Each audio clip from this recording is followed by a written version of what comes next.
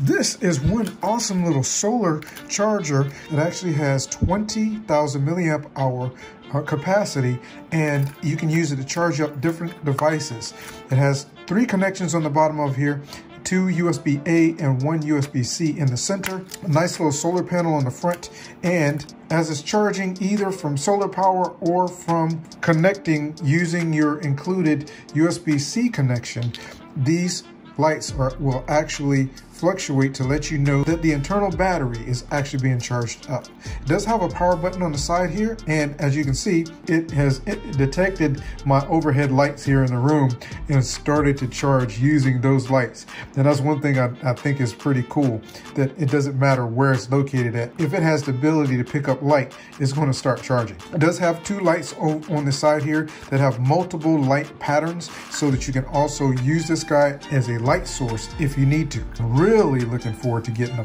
ton of use out of this, keeping my mobile devices charged up, as well as using it possibly to even charge up some of my LiPo batteries when I go out to fly drones or whatever.